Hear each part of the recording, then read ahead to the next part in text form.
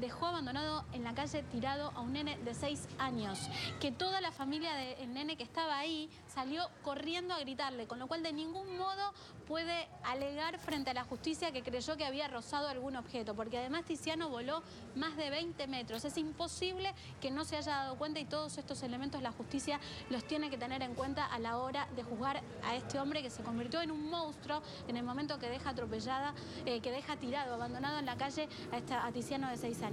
Aclarado esto, Guille, estamos con Maximiliano, el papá al cual ahora solo le importa que su hijo salga adelante y después tendrás tiempo para ocuparte de la justicia.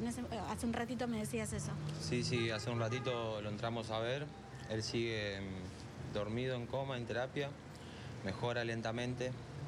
De a poquito el gordo quiere salir adelante. Pero bueno, como bien decías, eh, el que me lo atropella lo impacta, o sea que no hubo forma de que no se haya dado cuenta. El ruido al impactarlo se escuchó en toda la cuadra.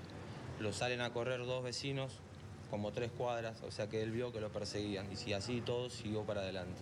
En ningún momento atinó a frenar, a ver si mi hijo estaba bien, estaba mal, o a recurrir a llevarlo al hospital. Solamente atinó a escaparse y a dejármelo tirado en la calle. Hoy en día está en fiscalía, ahora vamos a ir con la madre a, a hacer la denuncia como tiene que ser. Y nada, y confiando en que la justicia actúe como tiene que actuar y que pague lo que le hizo a mi hijo. Porque hoy mi hijo lucha por su vida cuando él, el 31, estaba conmigo jugando plenamente como era él, feliz, alegre. Y hoy en día lo tengo luchando por su vida. Yo sé que mi león es fuerte y va a salir adelante. Tiene toda la familia acá con él y todos hacemos fuerzas para que él esté bien. Como decís vos, lo primero es mi nene. Después yo sé que la justicia se va a encargar de que este monstruo, como dijiste vos, pague por lo que le hizo a mi hijo. ¿Qué te dijeron los médicos? ¿Cuáles son las heridas más graves que tiene Tiziano? ¿Cómo está evolucionando? Eh, los médicos nos han dicho que él evoluciona muy lentamente, pero favorablemente. Lo más complicado que tiene es el pulmón, que lo tiene perforado por el tema de que se le rompieron tres costillas y eso hizo que perfore el pulmoncito. La idea es, tiene fractura de clavícula, de fémur, pero bueno, lo más importante, como te contaba, es que sane el pulmoncito.